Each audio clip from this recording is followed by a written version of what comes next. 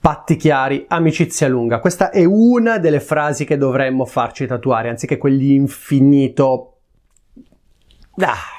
Quando faccio i colloqui di lavoro, noi mandiamo una mail dove specifichiamo l'orario di inizio del colloquio, le 15.30, e che bisogna arrivare un quarto d'ora prima, perché il colloquio inizierà esattamente alle 15.30 puntualmente c'è sempre qualcuno che arriva in ritardo o anche semplicemente puntuale alle 15.30 e la nostra regola è che a quell'ora non si entra più perché ho imparato che una persona che fa ritardo all'inizio molto probabilmente farà ritardo anche dopo. Una persona che si comporta in un certo modo di solito si comporta in quel modo. Quindi meglio iniziare col piede giusto. È sempre così? Assolutamente no, ma lo è la maggior parte delle volte. Quindi ottengo due risultati. In primo luogo, di 100 persone che io faccio entrare in ritardo, 90 saranno dei ritardatari. Ne ho perse 10? Perfetto, ma ho risparmiato tempo con gli altri 90.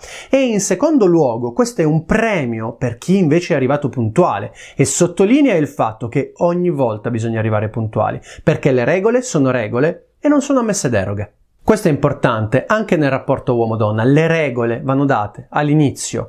Vi faccio un esempio concreto, dovevo uscire con una ragazza che a un certo punto, mentre ci stavamo messaggiando, mi scrive Eh sai, io ho un grave problema, sono molto ritardataria, cosa che fra l'altro, avrete capito, a me dà un fastidio enorme, perché è una mancanza di rispetto. E continua dicendo, sai, una volta il mio ex fidanzato mi ha dovuto aspettare più di un'ora per l'appuntamento, al che le ho risposto semplicemente, è assurdo come alcune persone accettino certe mancanze di rispetto e poi qualche faccina che rideva tanto per stemperare. Il risultato?